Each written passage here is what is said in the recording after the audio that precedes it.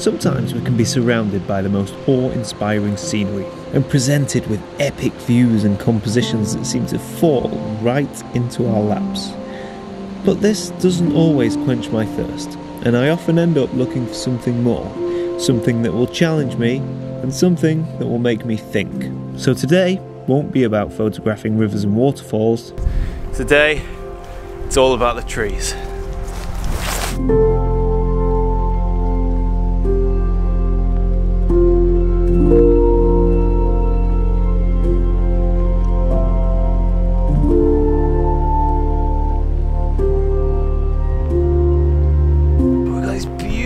Trees just behind me. This this forest, and you can see the Cuernos over my shoulder there. So if you can find compositions using these trees to to align with the mountain and, and, and line up and harmonize with the mountain, then you get some fantastic compositions. And that's exactly what we're doing. The weather suits the scene. The trees are all dead. They're gnarly.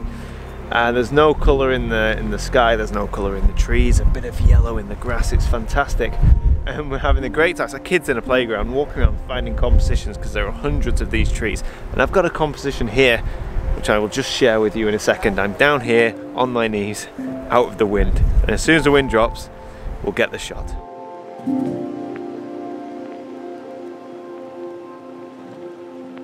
So I'm hunkering down by my tripod because the wind is so strong and it just actually blew my camera over and I had to catch it.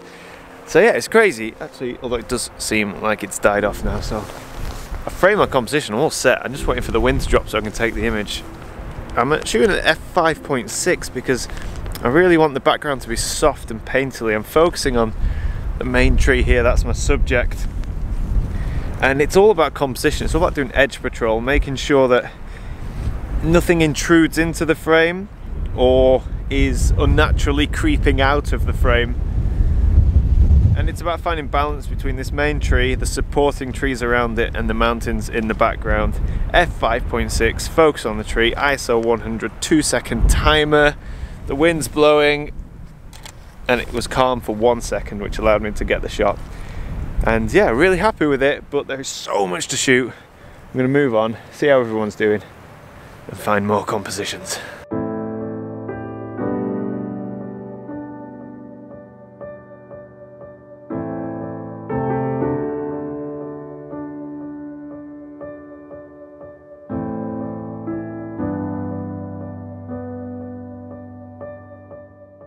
So the wind's still blowing, but I want to show you guys the second tree. I actually found this tree yesterday, but the weather was terrible and didn't shoot it, but remembered it to come back to. And that is a wonderful tree just behind me there. It's shaped, it's a perfect V-shaped tree. And the V shape mimics exactly, uncannily, the shape of the mountain and the Cuernos just there. We've got beautiful weather in the background, as I mentioned before, gives it drama. Got a bit of side light, see that hot spot there? That's the sun coming through, just catching on the tree. Now what's so important here is composition. You know, I'm down on my knees, um, I'm next to a spiky bush, I've shifted left, right, up, down. It's those millimeter movements that determine where those two branches and how they interact with the mountains. What we don't want them to do is cross over the mountain ridge into the sky. It's very similar to an image I took last year, but also very different. And working with these trees in the mountains is just such a fantastic exercise. I'm shooting at f5.6 focusing on the tree which throws the background nicely out of focus making it like a soft painting. It's beautiful, it's a great shot. Um, I'm shooting it over and over again as I'm making this video, just talking because it's so windy and I don't want any wind shake. And it's just a fantastic subject, great weather, great light, great tree. And it's been a fantastic morning. Who needs rivers and waterfalls and mountains when you have dead trees and bad weather? That's what I say.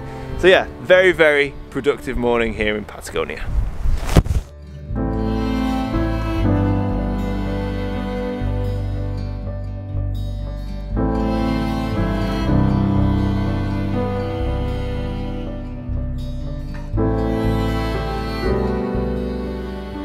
As you can see, I'm looking good and not at all windswept.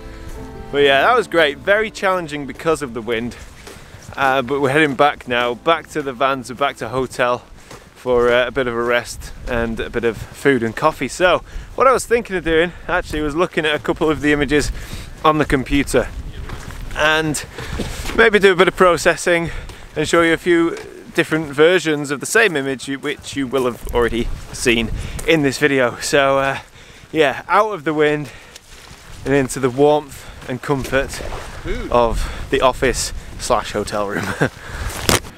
and welcome to my very temporary hotel room office here in Punta Arenas. Um, I'm on the, I'm on a very very busy main road here, so do expect some traffic noise. And I hope for as I hope as well that you appreciate the lighting setup, the genius studio lighting setup, uh, which I've cobbled together over an old basket of knives and forks, a table lamp, a TV remote control, and my tripod is at all kinds of funny angles.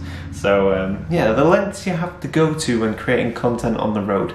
So anyway, jumping into the video, I said just before, like two minutes ago, or even less than that, 30 seconds ago, that I wanted to come back to the office uh, hotel room and talk more about the tree images, but. I don't know, I don't know. Looking at the images and looking at the video that I've just edited, I really don't think there's anything more I can add that I didn't already say in the field.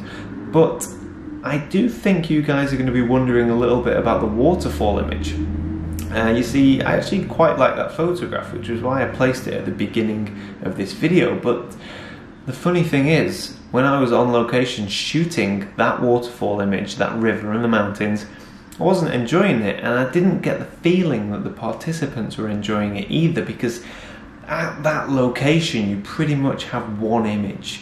Um, so there's the image I captured, which was alongside another participant, Chris, and there was only room for two tripods very close to the water's edge.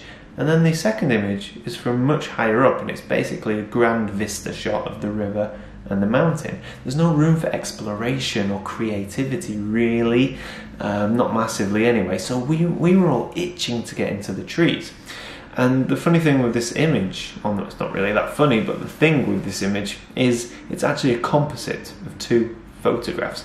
Because when I shot the first image, which is this image, um, it was the blue hour, it was before sunrise, and you could see the, the shutter speed is far too long. I couldn't really get it any higher without massively compromising on quality.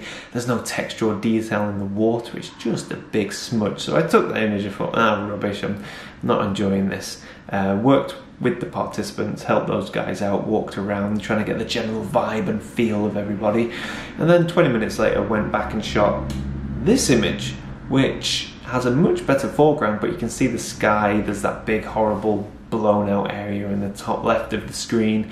And now the sun had risen, the light was flat, and I just wasn't feeling it. So we all agreed we wanted to pack up and move on and shoot the woodland. And that is where the photo shoot came alive. That is where everybody went from sat still, cold, shivering, waiting for the light that never happened, and generally being quite. God, they're watching this.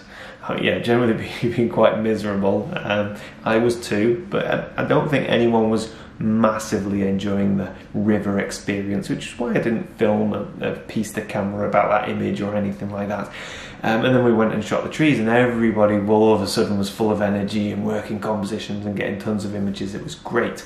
And it wasn't until I got back into Lightroom that I realised that actually, if I take the top half of one image and the bottom half of another image, put them together, and I actually have quite a nice photograph. So I showed it in the video, but here's the thing. It wasn't my intention to do that. That was a pure accident and something I didn't notice until, well, today when editing the images and making this video. So I'm not really sure how I feel about that. I'm a bit, uh, I'm a bit conflicted, if I'm being honest, a bit conflicted. and I'd like to know your thoughts. You know, if you don't intend to get a photograph um, and you weren't happy when out shooting, uh, but you know, by some accident, such as what happened to me, you get an image that you quite like. I don't know. Do you still like it? Is there is there a connection with it? I'm not sure. I'm not sure how I feel about that photograph, and I just really like your thoughts on capturing an image that at the time you weren't fussed about, and then you really like it. Is that a, is that a conflict? Do the, I suppose the question I'm asking is do you need to have an emotional connection with your images? That's what I want to know. So please leave the comments below. I hope you've enjoyed this video and yeah, until next time, bye for now.